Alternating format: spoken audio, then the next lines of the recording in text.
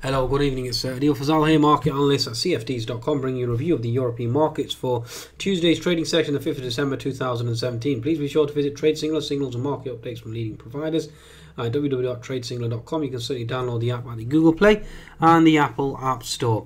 Okay, let's run through the actual uh, market stats for you then. Yeah, European markets certainly closing negative uh, towards the end, especially the FTSE 100, given the fact that we have Brexit concerns, uncertainty regarding Ireland now, London as well, Scotland, uh, and with regards to the so-called potential border.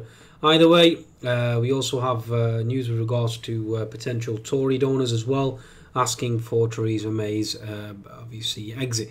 Again, uh, creating uncertainty. Initially, the FTSE 100 did actually gap higher.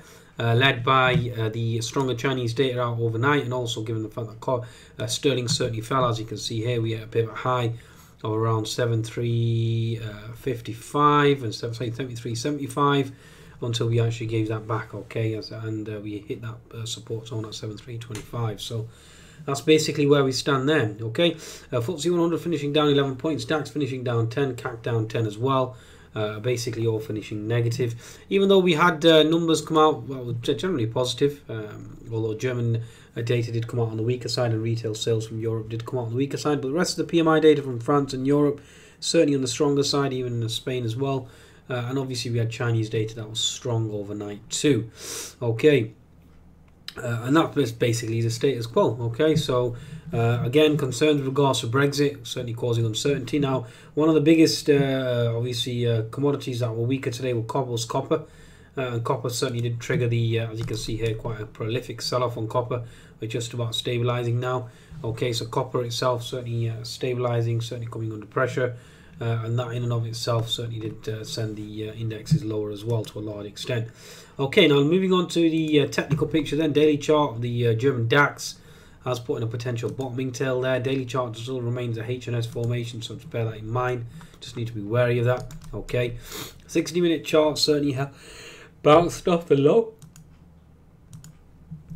10 minute chart certainly held double bottom here at 12,970 then obviously it regained up to uh, almost 100 points higher. At the moment after hours we're currently trading around the 13,025 zone. So again you are into that support around the 13,000 so watch out for that zone as well. 13,000 is support 12,9875 certainly is support. If the market certainly gives way then you are looking to gap fill at 12,860 so be wary of that as well in terms of the German DAX. Okay. Uh, in terms of the French CAC, let's move over to the French CAC now. Let's see exactly where we stand there.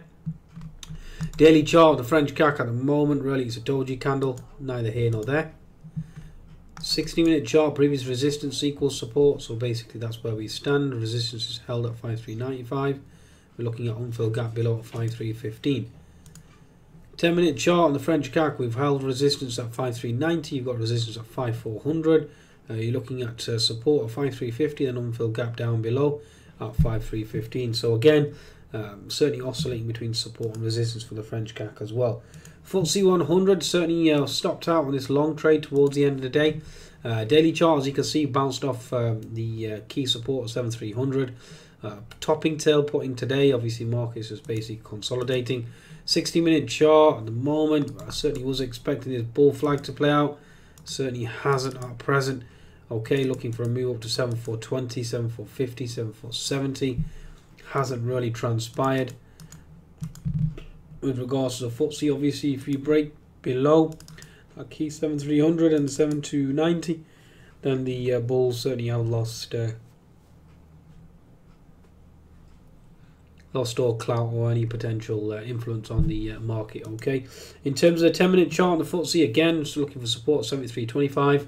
Obviously, if that gives way, you're looking at gap fill 7300 and then 72.90. Those levels will certainly come into play. Resistance above is seen at 73.55 and 73.75. If we break up through 73.75, then it does bring in all the levels above. Now, the first level you're looking at would be previous resistance equals support at 74.15 support resistance at 7445 and then you've got gap fill at uh, 7460 as well so all those levels certainly come into play okay so that's the status quo uh, at present then uh, folks okay?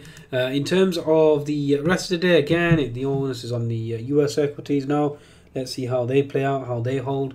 US data certainly has been on the weaker side. Please be sure to visit the uh, cfds.com website for your trading needs. Goodbye now